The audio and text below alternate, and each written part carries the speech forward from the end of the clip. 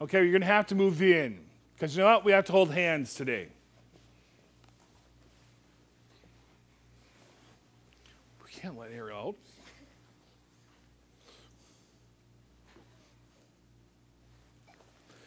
Everybody happy?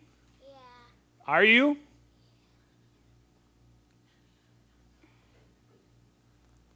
Okay. So, why do people hold hands?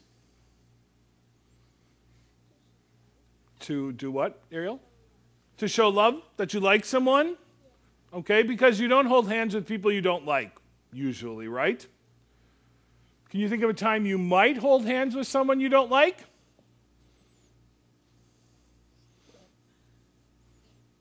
No, you can't ever think of that?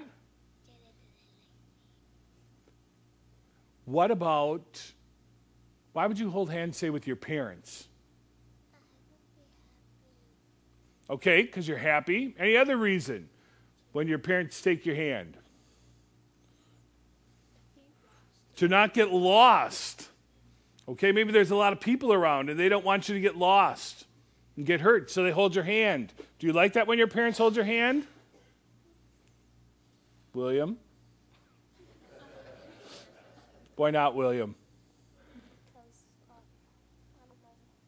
Sure, you know. You can tell us. There's nothing wrong with it because I know why. It's embarrassing, yes. Because you're old enough, you should be able to not have to hold their hand and stay with them, right?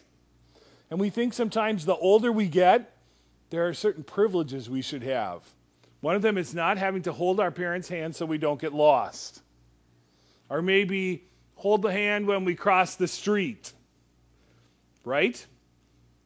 But there's something nice about holding hands when you think about it, because it reminds us that there's someone who's always there with us, just in case something's going to happen.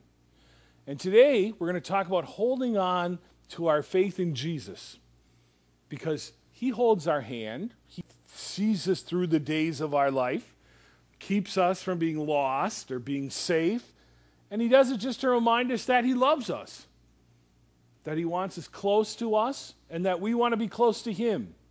So we should never think with Jesus that we've outgrown holding His hand or that we're too old to be seen liking Jesus.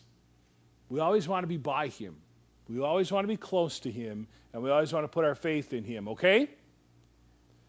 All right, go back now, your moms and dads. Hold their hands today.